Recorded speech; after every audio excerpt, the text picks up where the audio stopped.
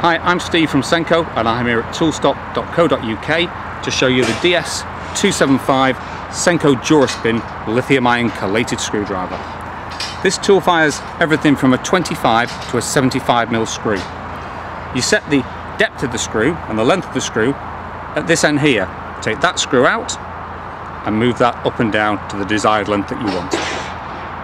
One of the most important features of the tool is depth of drive you obviously want to set your tool, your screw, to a certain depth, and that wheel does it, with a little diagram above it to show you how to do that. The tool has reverse on it.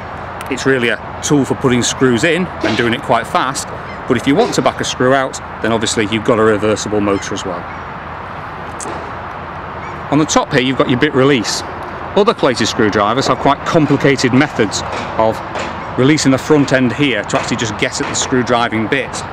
But when it's worn, all you do is you pull back on the bit release and the bit drops out. The tool comes with one battery as standard on a 15 minute charge. The tool also comes with a carry case and a charger as well. So that's the DS275 lithium ion from the Senco Duraspin range and it's available from toolstop.co.uk.